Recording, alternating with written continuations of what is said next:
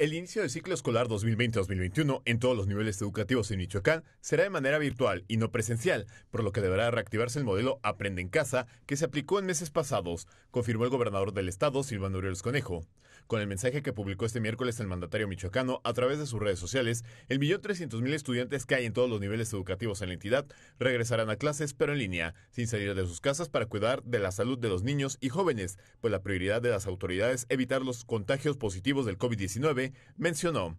Hace unos días el secretario de Educación en el Estado, Héctor Ayala Morales, adelantó a mimorelia.com que debido al aumento de los casos de coronavirus en Michoacán y a nivel nacional, las autoridades educativas no veían condiciones favorables para que en agosto se regresara a las escuelas del nivel básico, pero que dicha determinación tenía que ser anunciada de manera formal u oficial por el gobernador de la entidad.